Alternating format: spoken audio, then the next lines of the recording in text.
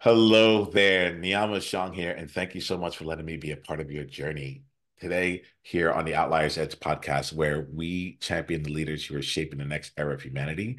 We have one such leader in front of us, uh, Cari Kenzie. I am absolutely thrilled to be spending time with you uh, to find out more about your journey and to like see how you bring your outlier out in the world and leverage it to the highest extent possible.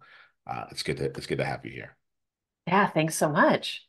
Yep. You know, uh, I'd like to start off here with um, I, I want, I want people to get a chance to get to know you, hmm um, and both personally and professionally. Uh, I'm gonna have you speak to it in just a bit, but I want to like we got a chance to connect uh, a little bit beforehand, uh, and if you're cool with it, I'd like to just share a little bit about like like who you've been to me so far. Is that Cool. I love that? it. Yeah. Yeah. Uh, I also find like it helps ground me into this moment. I'm like, there's a real person here. Like, let's like, like, who is this?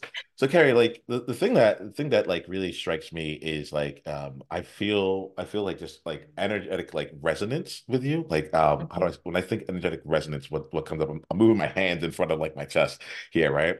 Um, as in like uh in an outward radiance. I think that's probably the best. Energetic radiance, I think, is what what comes through um, with a um, that's just really like centered and grounded at the same time. All right.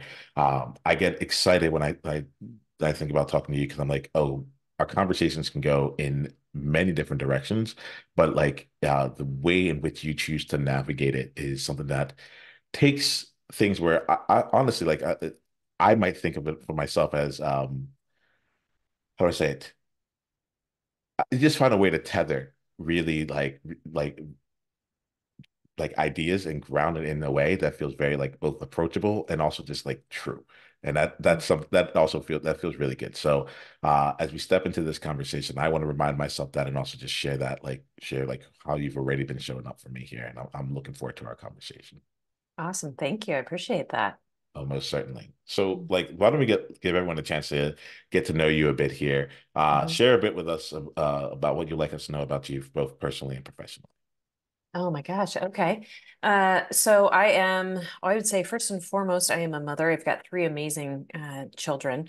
My path has been uh, quite windy and uh, I would say chaotic, a little bumpy, uh, from early childhood up until, you know, recent years.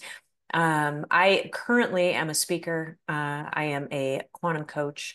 I work with people uh, to really help them to be able to navigate the stories of their life, to be able to heal through the trauma and the experiences that we've had, shedding and uh, stripping away the layers of belief systems, of identities, the things that we have been attached to in this lifetime that have really kept us from being authentically ourselves as we express ourselves into the world. Um, and so that's the work I do. It stems from my own experience. I mean, I, you know, lived kind of the American dream life up until I was 38 years old. Uh, you know, house with the picket fence and the kids and the marriage and the church and uh, you know, owning a business. I mean, I checked all the boxes. And then I crossed a finish line that would change my life. I happened to be in Boston and I had run the Boston Marathon in 2013 when the terrorist attack happened. And that uh, really is where my life path and I say my divine purpose collided. Um, I came home a spectator of that event over a participant. And I say that because, you know, I was in the medical tent at the finish line when the attack occurred. Um, I left, uh, witnessed, experienced many things as you can only imagine, but I eventually found my family and was not physically injured. Others had it worse. Um, and so I left Boston, came home, went to work the next day, watched the news with the rest of my staff. When they caught the second brother, we turned off the TV and I went back to my life. Um, that did not prove to be the most beneficial thing for me, um, as it doesn't for many, though we feel like it's the best thing we could potentially do. Uh, it actually led to uh, crippling, chronic, debilitating illnesses. And that would go on for a number of years until I found remedy. Once I did, once I understood the things that I now know, um, I knew that there was no turning back. Um, I knew that I had to help humanity. I had to help people who found themselves in similar yet completely different situations awaken to the essence of who they are, to understand how powerful they are, and really to bring that forward into the world. So I guess in a nutshell, a big nutshell, um, that's me. I'm a disruptor. I'm here to challenge, uh, and this is the not only the mission of myself, it's the mission in the business uh, shift, and then also in my nonprofit, Ripples of Change. Thank you for bringing us into into your world here uh, yeah. and you know i want to spend some time today like exploring both the journey of what mm-hmm. has been as uh, as well as what's happening right now yeah. right um you do things differently you know mm-hmm. and i and uh like i get to spend my time with a number of people who uh, are, are making like are working with people to shift the consciousness of the world to to bring people in uh more into themselves and that there's, there's something that you differently you do differently. If you had to like go out there and say like either for yourself or what your clients might say about like what's a what's different once they enter i'll call it your world uh, whether it's your business into a conversation so on and so forth what would you say is one of the things that like strikes you as like hey this is what we try and do differently um, well, I would say the first thing that we do is we really invite people back into their own wisdom. Mm. We uh, embrace the understanding that each individual knows the path and each individual knows the journey forward. And they simply need to be re-invited and ignited back into who they are in the essence of their own power. Um, and so for me, what that looks like is really helping people to be able to understand kind of that opening of the mind and the experiences that they're having and allowing them, giving them permission to be really super curious without any kind of bias around what is behind that door and what is the mind, what is the energy, what is their experience trying to show them. Because if we have the opportunity and when we take the opportunity to embrace bravery, and I mean embrace bravery from a, a place of really self love, knowing and and the fact that I don't want to be here anymore. I want to be somewhere else. But I can't have somebody else take me there nobody else is going to be able to take you to that place. I as a coach cannot take you to that place and i think that is very much a um, an issue that we have in that industry quite honestly is that we're consistently looking for strategies and directives and we're not being invited back into our own inner wisdom. And when we can shift those pers- perspectives and we can get curious about the things that have brought us into this particular moment we can unravel and untangle the things that are keeping us locked in place uh, in, unable to see with clarity the path forward, shifting that, opening that up, we will have the clarity and all of a sudden we'll go, I know exactly what I need to do. I know exactly the step I need to take moving forward. And and that's the position that we effort to place everybody in either through the coaching or the membership programs. It is all about creating authenticity and reconnection with that inner landscape of you. So I, now I have to ask this question as it's come along because uh, you were telling us about a bit about your journey, um, mm-hmm. and then you said uh, you said like you went back back to work like just just the mm-hmm. next day, you know, and uh, it, it gets me thinking about the person who's like that, that's living their life right now that may not recognize that like the the path to inner wisdom is like is is what's they, mm-hmm. they actually would serve them. Can you let me know like how did you put yourself on this path? How did like where were you at when you started to discover like, wait a minute, I need to change something. I need to go down uh, a path to, to discover something else differently inside of me uh, and go from there. I'd be really curious about that. Yeah, it's such a great question. And uh, because I, like you, very much want people to understand kind of the the totality of a journey. I will say this: it did not happen overnight. It did not happen happen in a particular moment. It was actually an unfolding of things that I just had the opportunity to be aware of. Um, so when I beca- I had no idea there was any connection, quite honestly, between my illnesses and my experience. Even though I went from running marathons to not being able to walk up a flight of stairs unassisted within a matter of months. To me, there was no connection between the two. So I went down a, a route for physical healing. I went to every doctor. I went to every specialist. Nobody could figure out what was going on other than I would get, you're depressed. About a year, um, a year into this, I found a specialist I hadn't been to. He said this thing to me. He said, well, he checked my stats. He was looking at all the things and he says, are you a runner? I was like, well, yeah, why? He said, oh, because your heart rate's really low. It's like, okay, people say that to me all the time, like not a big deal. But he said this he goes, Look, I don't have anything that's going to be able to help you. There's nothing in my toolkit that's going to make you better. But here's what I can tell you is that you're not depressed. Because I've never known a runner to be depressed. And what I realized in that moment, but would completely unfold for me over the course of a couple of years, was that he saw me. Like all of a sudden, I wasn't a diagnosis and I wasn't the piece of paper that was sitting in front of him. He was like, Look, I know this about you. And so, what I can tell you is because I know this, that's not what's happening within you. And what that showed me was that I had to like I had to start looking at things that way for myself as well. Like nobody else was going to have an answer. I had to figure this out. I'd been to all the doctors. And so that's when I just started getting curious about things, meaning I would listen to podcasts. And if I would hear something three times, it's always my magic number. If I hear it three times, then I got to follow it. Okay. So somebody, I'd pop random, pop on these podcasts and Lyme disease would come up. And I heard the third time I heard it, okay, I need to go get tested for that. And I'd find that out that's what it was. And I just kept following that kind of path. And then the more I followed that path, the more I trusted myself to get more curious about things, to figure out more directions that I needed to go. And so I went from Western medical route to a holistic medical route to ending up at a conference because I just had this gut feeling. Email came across. We have this coaching program. It's a two day intensive on the front end of this. Uh, you know, you're invited to come. I said yes without telling anybody, asking anybody. It was just like that impulse. But because I trusted myself, because I followed this path and it led me here, I was like, I have to be there. And that's what continued to open things up for me. So when i look back now and i go okay if there's one message that i could tell anybody it'd be this. Like you have to choose you.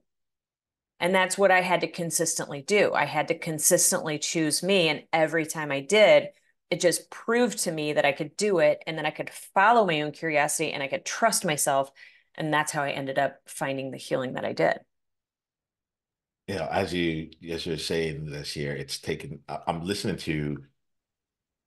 I've listened to a couple different things. One of it is like is that when you said it didn't happen overnight, like you weren't joking.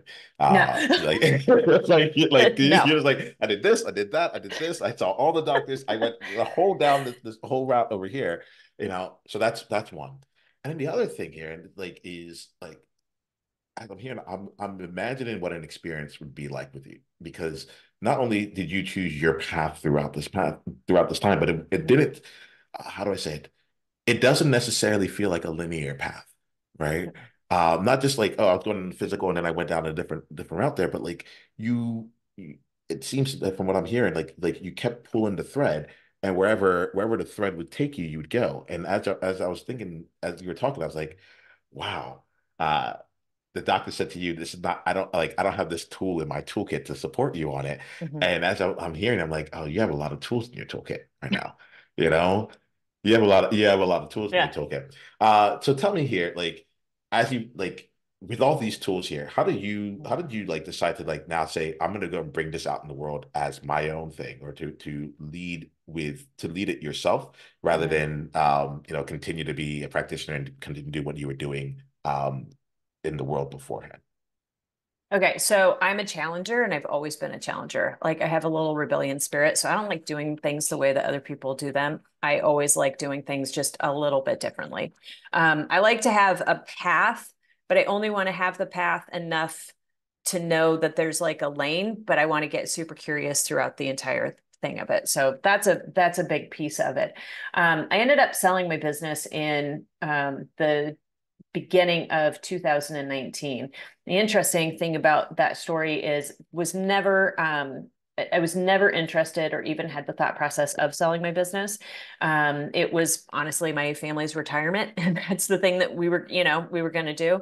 I received a text message one day, and much like that, you know, conference that came across in my email, this text message said, "Hey, um, if you ever think about selling your business, let me know uh, I would, you know, I would pay you multiple of what you would get any other way. And it happened to come from a peer, good friend of mine. And I immediately shot a text back. I think you caught me on a good day. And then I went, what the heck did I just do? mm. But then I sat and I got curious about it, right? Because I think that we have those moments of just that, that gut instinct. And I've learned you just have to go with that gut instinct. I can question it later, right? But I've got to take a jump first. And that's what I did. And part of me knew that this was my path. Part of me knew that I needed to help awaken humanity to the power that they had within. And it came to me through my own kids, which is typically what happens, I think, for a lot of people, is we will see things that are happening in our own families or in our own children. We think, you know what? I would love to, I would love to be able to fix that. I would love to be able to help somebody with that. Well, my son and I had an experience um, in 20, 2018 that just altered everything that I knew and everything that I understood. And it was this that in the power of my own healing, it affected and had the power to heal him as quickly as anything potentially could we talk about you know these beliefs and these things that carry through generations and you know the um, uh, sins of the father, so to speak, kind of those old understandings, right? Like, how do we break the chain? How do we heal the generation? How do we stop this cycle from happening? And when I sat down on a particular evening based on an experience we had, and I shifted everything for me, and 20 minutes later, he came into me, and I could tell instantaneously it had shifted it in him. I thought, this is it. This is how we heal not just ourselves, but we heal our communities, we heal generations, is by simply taking our own power back. And so it was the combination of the two things that really opened up the world to me that said, you know what, there's something bigger here, there's something greater. Um, and honestly, the universe, God, like literally opened up that um, opportunity opportunity for me in 2019. Um, and it ended up being one of the greatest blessings, uh, you know, pre-COVID. So thank you for this like because even as you're talking uh, what's happening is that you're also like re- you're reminding me and and as i'm listening to you i'm checking in with some things you know okay. we might bring mm-hmm. this up uh, a little bit later on but i'm checking in around like um one of the things that gets me is that is the conviction right mm. um the the conviction and knowing about like what like what is driving you and then being able to see like how this continues to to play itself out mm-hmm. you talked here about like inner wisdom and i'm thinking about just around me, and I'm thinking about like people had known you a certain way up until mm-hmm. up until like you said like the, this part of the journey started like 38 for you so people have known you for decades a certain way mm-hmm. right and it feels to me like that you're changing so much so much is let me not changing maybe that's not the word you're shifting let's use that word right now uh, right you're shifting you're transforming whatever it is you yeah. tell me what what your experience was uh, so much so that the that like you're healing generational like issues like like your son's able to walk in the room and you're like boom that's shifted too um mm-hmm. tell me a bit like at, like how like navigating that shift with others around you like that I, I, talk a lot about like being around the norm right? And i okay. can see you like changing what people had like been used to around you. Mm-hmm. or perhaps it was just like another thing that like you know cari just like goes off and like she she she makes these kind of moves. So it's just another shift there. I'd be kind of curious about that. Actually yeah. i'm very curious about it. Yeah. Um you know that is one of the reasons why people don't change quite honestly is because you know you uh, people have known you you've known yourself but people have known you throughout the course of life up to a certain point and so the fear is that if i change i'm going to lose. Like people will leave me people will no longer resonate with me people will no longer relate to me. Um the, what i would say to that one um yes my life has changed a lot um in, in some incredibly profound beautiful ways the things that have shifted away because things absolutely do when you evolve when you change when you start to shift your beliefs and understandings and perspectives things are going to change around you because you no longer see things the way that you used to i would say for me prior to 2013 i had absolutely no clue who i was uh, I was doing things. I was doing things because other people said I should, because other people thought that I needed to. Hey, I think you'll be really good at this. Your dad did this. This is the avenue that you should go. I would probably call four or five girlfriends before making a decision to get their opinion to see what they would do. Like I had no clue who I was. After that time period, after doing the healing, after walking through the experiences and understanding the way that I had completely invalidated myself my entire life, which is also what I did in 2013. Like after figuring all of that out, I was like, you know what? I can't do that anymore. I absolutely cannot sacrifice myself or deny who I am in order to please other people or to make other people happy around me. Is it painful sometimes? Yeah, it doesn't feel super good. But what I can tell you is that if I and when I have honored the best version of me, the version of me that loves me, the version of me that's strong and powerful and confident, then I am honoring that in everybody else around me, which means I'm kind of calling them up as well and causing them to make that decision for themselves. Do I want to stay where I'm at? Or do I want to do something different? Do I want to change? Could I potentially love myself more? Could I honor myself or really understand who I am on a deeper level? Um, so, yeah, a lot shifted. Um, I personally don't recognize myself. I mean, I would say from year to year, there's so much that changes, but the one thing that has always remained the same is the compassion and the love. It has just transformed a little bit to not be so outward, but to be an inward that reflects out, if that makes sense. Well, tell me a little bit more about it because uh, it's the first time I ever heard of an inward that reflects out like there. So mm. uh, it make I like I'm getting sensations around it. Uh, that I'm like, does it make sense? Yeah, I'm getting sensations, but I would actually like like to get a little clarity. Um, so when you say it's an inward that, that reflects outward, just how else might you say that? Yeah. So the only way that you have the ability, the only way I have the ability to have compassion out into the world, to truly empathize with other people, to honor them and to understand who they are without bias or judgment, to be a loving human is to do that for myself first. Like I cannot have any more compassion for you than I have for myself. I can have no more grace for you than I have for myself. And so it has to be an inward journey. And it has to be that compassion and that love that goes inward first, because that's what then reflects out from you. And that's what other people witness and see. So then thank you for that. That actually mm-hmm. that, that that helps so much. Um I find myself really curious now then to the the post 2019 time period, right? Mm-hmm. Um, I wanted like uh, this is also my own natural curiosity of like, okay, so you have a business now around this here. Um, you like you have a team, you're you're you're out in the world um, living in, in this mission in a, in a mm-hmm. really real way.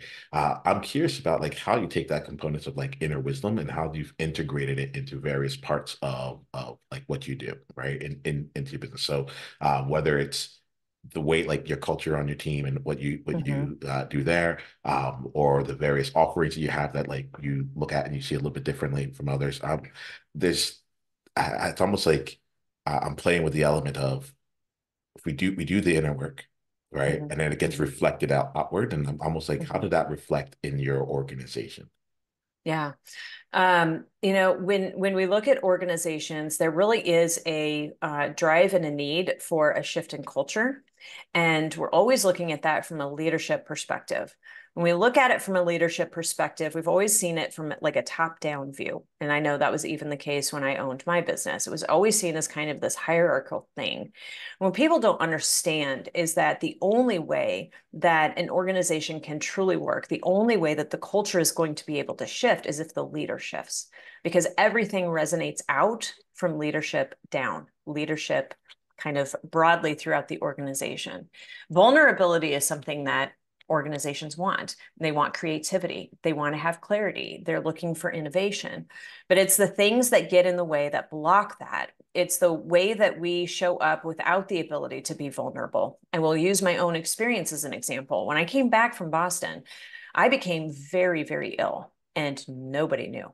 I would go to the hospital on a Friday. I would show back up to work on a Monday. Nobody knew anything was going on because my fear, my deep fear as a leader in an organization is that should anybody see any form of weakness, then everything is going to be pulled out from underneath me right? That's something that people attack. That's something that I have to hold very close to the chest. I have to ensure that I am strong and that I am confident and I am showing up that way every single day in order for other people to do that people understand energy. They don't understand it in the way where it consciously shows up and they go, oh my gosh, this is exactly what's happening. But we feel it. And we feel what's coming through the inauthenticity from leadership because they don't have the ability, because of the way we've been taught from a hierarchical view, they don't have the ability to truly be able to embrace that own vulnerability, to be able to take a moment and step aside in order to clear the chaos sit in confusion for a hot minute, find some presence, and allow the clarity to come forward. If we took the opportunity to do that, then that would completely shift the way that we lead it would bring uh, company cultures together and it would offer an opportunity for that innovation that everybody's looking for but it starts with the leaders and it starts with each individual looking at every situation from a space of curiosity in order to really be able to understand what's happening beyond what it is that they're truly seeing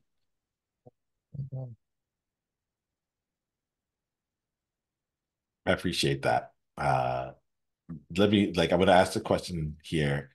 Mm-hmm. I, I, get I, I, think I think I'm interested in like an example from you, like like in, mm-hmm. in like in how things are going going for you now. Like um you like I guess it's like it's like how how is your mission being carried out in inside of your organization now? So like like as, as a leader of mm-hmm. this year, as, someone mm-hmm. help me help me see that a little bit right now. So for me, what it looks like is it doesn't look like uh, it doesn't look like a traditional setup. It looks mm-hmm. like a flat line. Yeah. Uh, it looks like we are all part of a team. It is the opportunity that I have to really be able to sit down in a present area to have compassion for other people and be able to ask tough questions.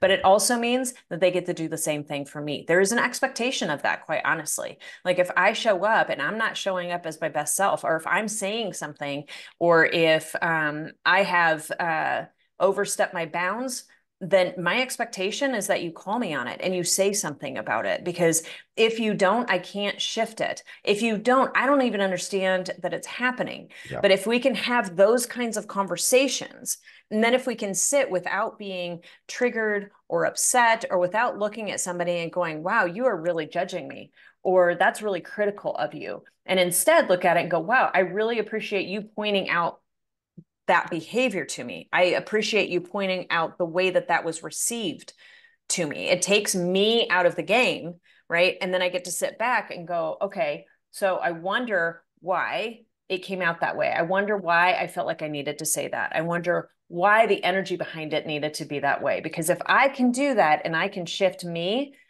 then that means everybody else receives me differently. But then I also have the opportunity to understand when it's simply not mine.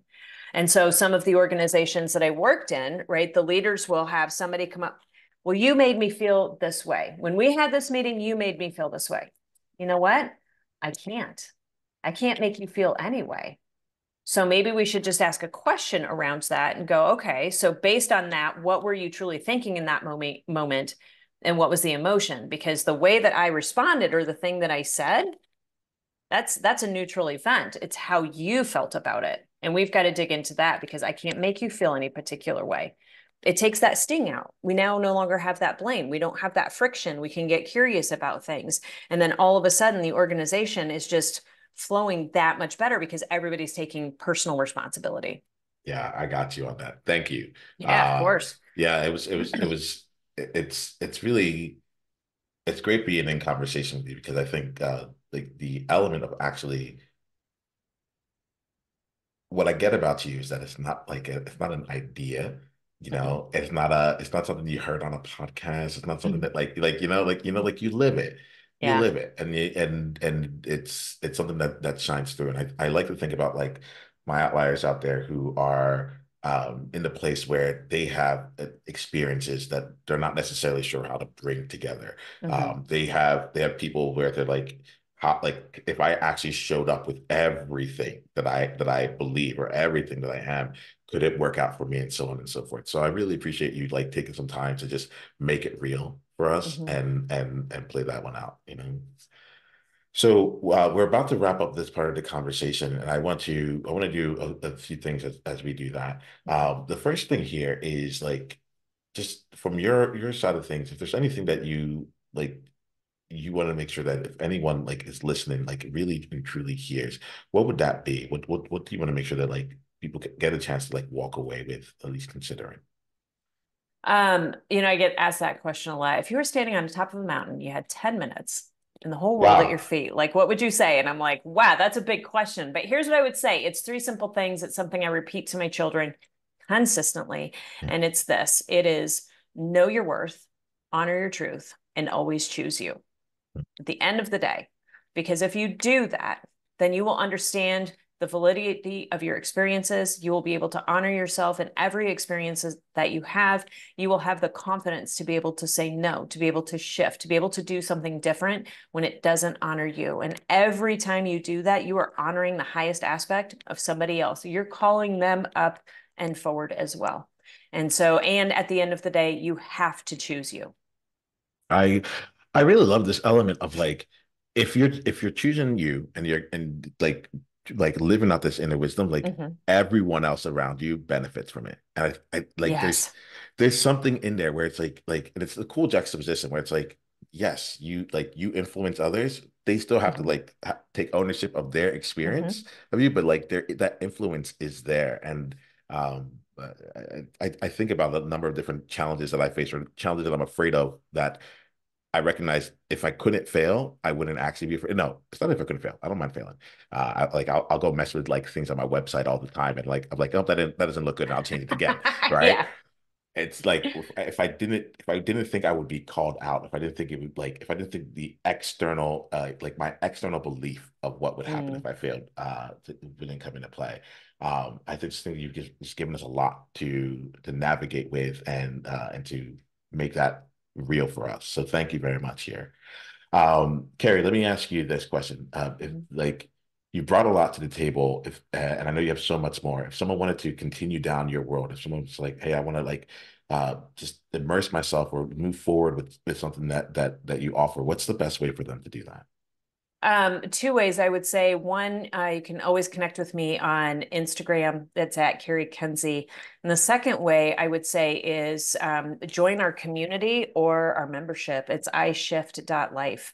Uh, we've got a thriving community, one that we're continuing to build, really where we're challenging people in perspective shifting, um, kind of disrupting the status quo on a lot of things and opening people, awakening them to their truest potential. Awesome. And you know, outliers are all about like shifting that that status quo and challenging. Oh yeah. That's awesome. Um, last question for you here. Mm-hmm. And and this here is um it's not about to about the top thing here. Uh, but I call it the time capsule question. And my my the thing that I'm curious about is um, right now you're living with your inner wisdom right now. You've like, you have mm-hmm. all your experiences up until this date in this moment.